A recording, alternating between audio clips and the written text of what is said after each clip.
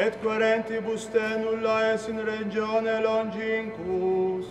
Ad esto famulis tuis pie peregrinantibus, et eorum viam in tua dirige voluntate, ut per diem umbra tua salutari tercitum tecti, ac lumine gratiae tue per noctem illustrati, ad eum quo pergum locum te comitante feliciter valiant pervenire, per Christum Dominum nostrum.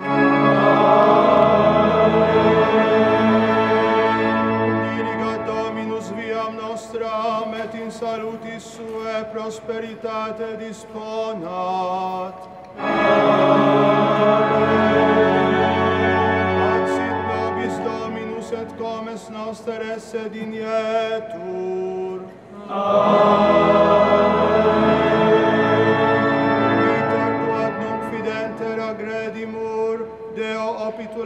feliciter absolvamus. Amen.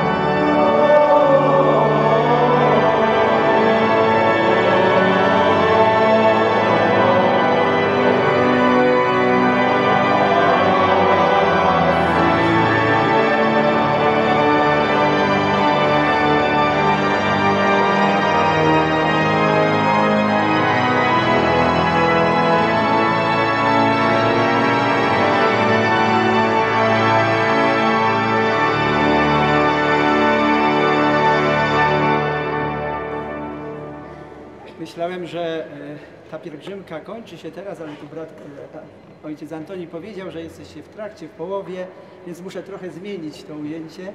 Także jesteście w trakcie czytania piątej Ewangelii. Jeszcze nie kończycie, no ale przybyliście do e, no, centralnego, najważniejszego miejsca naszej wiary. Tutaj w chórze Greków jest taka rzeźba w, terakocie Biculum e, Mundi, Umbe, umbeculum, umbeculum e, mundi e, znaczy pępek świata.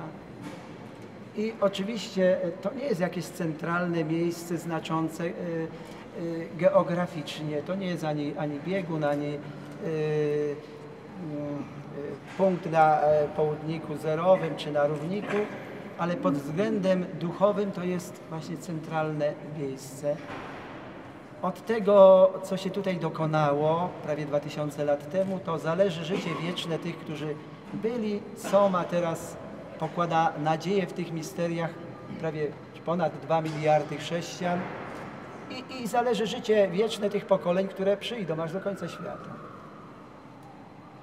Ale właśnie tu trzeba okiem wiary na to patrzeć.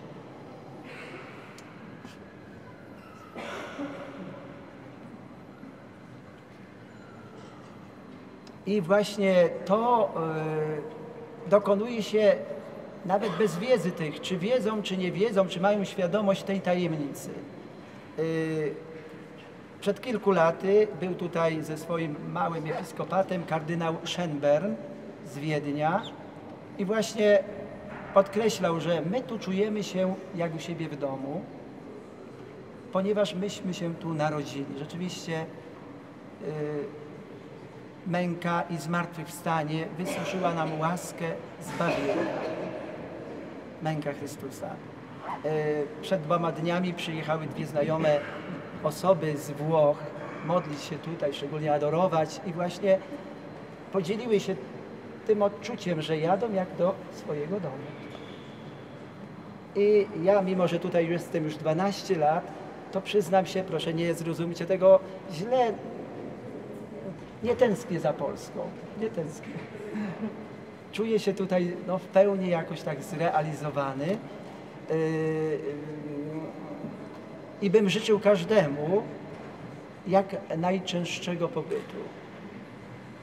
Y, Zmarły już kardynał Martini właśnie ukochał tę ziemię i kiedy y, już był na emeryturze, to na ile mu wizy pozwalały, to przyjeżdżał tutaj.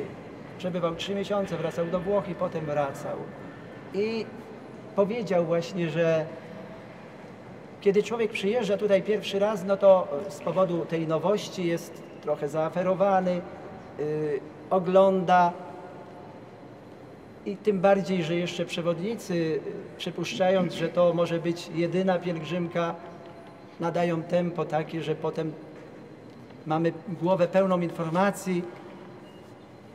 Ale mówię, kiedy się przyjeżdża drugi raz, już człowiek bardziej wnika w te tajemnice, więcej się skupia, a trzeci raz, kiedy przybywa, to e, chwyta wirusa powrotu.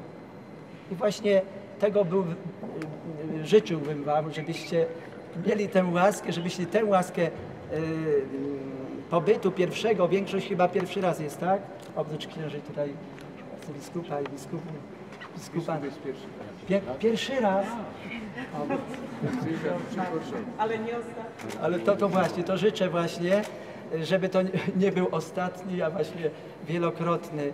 No, jestem czasem zawstydzony, kiedy y, przyjeżdżają starsi kapłani i nawet nie mają możliwości odprawienia tu mszy świętej. Pod koniec życia, kiedy służyli ofiarnie Panu Bogu, a ja z powodu okresu tutaj intywady, kiedy nie było grup, to chyba już mam na koncie tysiąc mszy w Bożym Grobie i na Kalwarii. Tysiąc mszy.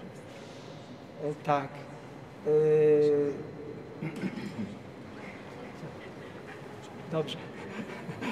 Tu podpowiada ojciec przełożony, że musimy kończyć, bo jest dużo was i musicie nawiedzić grup, więc w imieniu ojca Kustosza, ojca e, Pier Battisti Pizzebala i ojca tutaj przełożonego Noela, który teraz rozpoczyna służbę w Bożym Grobie od kilku dni i właśnie wszystkich braci tutaj. e, No, witam was i e, zapewniam o modlitwie. Każda msza konwe- konwentualna, śpiewana codziennie właśnie jest ofiarowana w intencji pielgrzymów, dobrodziejów. Właśnie wy jesteście tu przez swoją obecność największymi dobrodziejami, bo kiedy emigrują masowo chrześcijanie, no to ta obecność pielgrzymów uzupełnia ten brak. I y, proszę, prosimy Was też o pamięć, o to wsparcie i o tę obecność najczęstszą tutaj. Y, y, Pan Bóg chce dawać łaski. Jeśli my to, co otrzymujemy teraz, uszanujemy, to On nie poskąpi. Jest radością po prostu dla Niego, yy, tak jak powiedział siostrze Faustynie, rozlewać łaski. Tylko pragnie dusz otwartych, które uszanują, pomnożą. Tego Wam życzę. Szczęść Boże.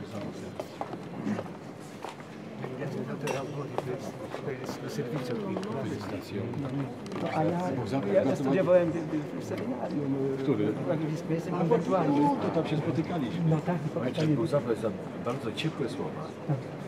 To nowy